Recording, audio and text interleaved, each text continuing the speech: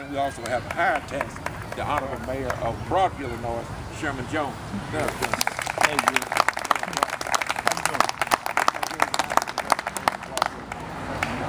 He's here, he's starting out going, we're very supportive, and uh, he's a hard worker. He's very supportive. He's uh, our postmaster, and uh, we need people like that. And we're going to continue to work with him and Mayor Yarborough, and hey, make them work.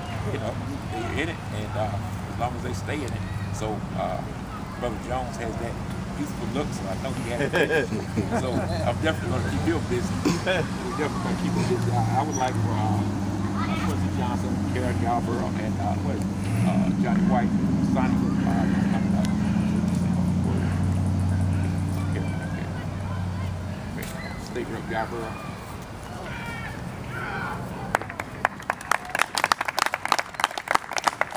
Now, we, we um, have given out a number of scholarships, and we're going to keep giving out a number. And uh, we feel that it's a historic thing that in Fred's name, and that we've done this a number of years, and we've had our legal powers. That Brother Taylor can tell you, even here from Brother Taylor, most people know about the Burge right? And up.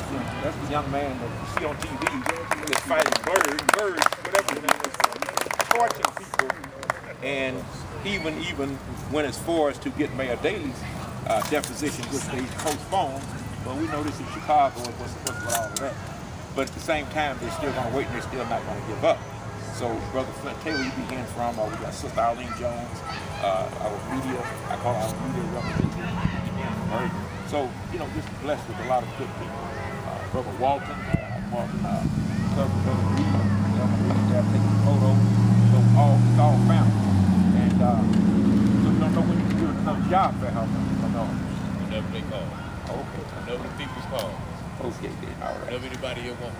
Okay, so uh, what we're what we're doing is that we know that, and each one of these people will have a few things to say.